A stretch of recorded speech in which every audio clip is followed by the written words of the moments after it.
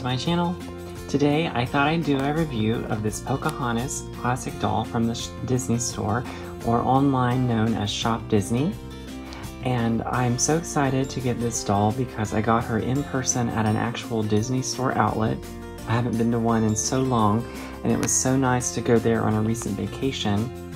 So I got her in person at a Disney store outlet and I've been wanting this version of Pocahontas for a long time because I think that her skin tone and her face is the most accurate that we have seen of her ever made and I'm going to take a look at some of my other Pocahontas classic dolls.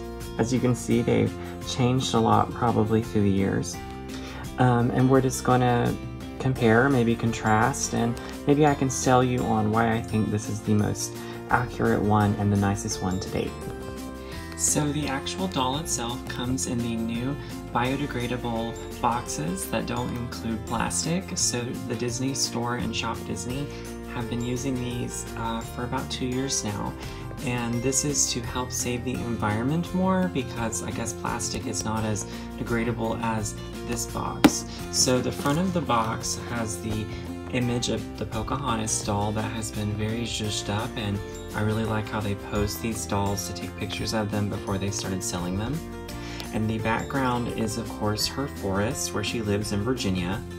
And down here there is like a mountain peak and that's where in the movie she runs out and looks at John Smith as he leaves. So we can see her running to that in the film. It says here there is a brush included so with all of these dolls, there's doll brush included, and it's really not a very good brush unless if you want to kind of mess up your doll's hair, but it's just a nice piece to kind of look at. Down here it says Disney Princess Pocahontas, Classic Doll, and then it says Classic Doll in other languages. And it's just so pretty. Um, and there's sparkles around her because of course Pocahontas is a princess. So the Pocahontas doll box um, here it says Disney Princess Pocahontas in Classic Doll, and then here on the side it has a very nice image of Pocahontas, like a 2D picture drawing of her, and it has like her classic outfit, and it's like embellished. There's the trees, and you can see this kind of leads up to the peak here on the other side. Leaves, and it looks like this um, continues on this side and there's more trees there, leaves, pine trees, and grass. So it's just all about nature and it just flows continuously in like a picture. So here is the back of her box and this is actually from the movie. Um, so this is the actual animation and of course it says Pocahontas includes doll and brush, Disney princess, there's the leaves. Everything's just like a nice like coral color. Just reminds you like of nature. Here is like some little images from the movie. There's uh, like trees, there's sunflowers because there's a lot of sunflowers in Pocahontas' village. There's leaves, and then surrounding her is Meeko and Flit, her little raccoon and hummingbird friend. Here's some product information, and here is where it says plastic-free packaging, um, and that means it's um, the, a part of the Disney Small World project, which I, which I guess is, you know, saving the environment. She was 1999, and um, they don't recommend you to be 0 to 3 years old whenever you play with this. so you have to be older than that. So the doll box opens like this, and this is where you actually get the Pocahontas doll inside.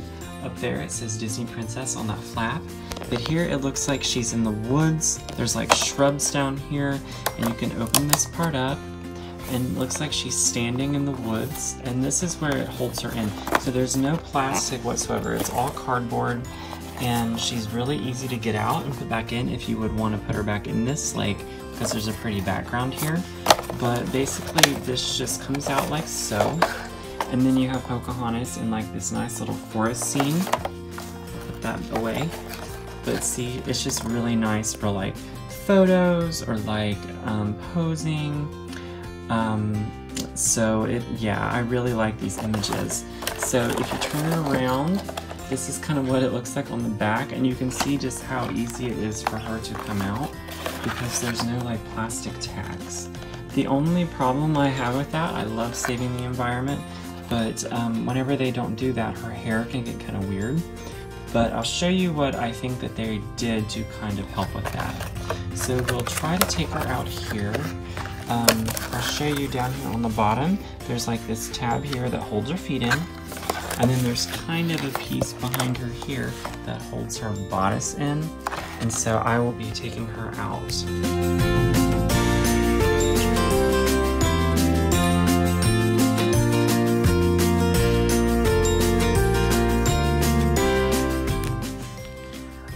So here she is out of the box after that struggle to get her out of there. Uh, no, just kidding, it's really not that hard. Um, she looks really pretty, and like I said, that cardboard displays her really nice. Um, the only thing is, is that if a princess has long hair in the, the classic doll collection, they try to keep it contained by rubber banding it there behind her. So I really don't mind that. You know, it just needs a little bit of styling, you know, whenever you take the rubber band off, so, but it's all held in there. So we'll take a look at these three Pocahontas dolls, and easily we can kind of see here that they all have a different skin tone, they all have like a different um, face, and I really think that this, the newest one, the current one, is probably the best that we have ever had. So this one is from 2012. It was a part of the Classic Doll Collection whenever the Disney princesses received their makeovers. Um, and the Disney store had products to represent that. Except for Pocahontas here really isn't made over, you know, like she was in her Disney Princess redesign. Um, so I think with Pocahontas and Mulan, a lot of the time, they just tried to play it safe so this is a Pocahontas face sculpt that they had used for a really long time. I have fond memories of going and get this doll at my local Disney store whenever it was open, long time ago. So, but I mean, for this time, not bad. And there's her necklace. That's what they used to give her for her necklace, was a little like band, a little glittery, glittery band. She has her tattoo. And here is her uh, buckskin dress, and it's like a nice it, it kind of feels like burlap, kind of a little bit. It just makes you feel like she is um, wearing something that has animal skin. At that time, the, the legs that they had were jointed at the um, knees and at the uh, feet. So the feet here were kind of, um, you could bend them around, but these were not kind of ideal. I mean, but they are articulated if you want to spin her feet around. this one was a more recent one, maybe 2016. So it's been a little while ago, but there was a big jump from 2012 to 2016 because she's smiling. And this doll is actually wearing the Pocahontas wardrobe pack that the Disney store released uh, about two years ago that they're not available now because they were very popular. But she's wearing the wardrobe pack from that and she's got boots on and she's got another rendition of her signature outfit here. Um, so that you can see still in 2016 they were still just using that little blue band as her necklace. Here though is the, the newest one we just unboxed and I think that her skin color here is beautiful. It's more representation more representation of her, of what she looks like in the film, of her culture. And she I, I'm, I'm wondering if this is the same face, just different paint. She just looks more happy here, more um, more herself. She has like a gold eyeshadow on. There's a little bit of like a blush. There's some nice lips there. Um, I don't think Pocahontas would be wearing makeup, but it looks like she is wearing a little bit, and it's beautiful.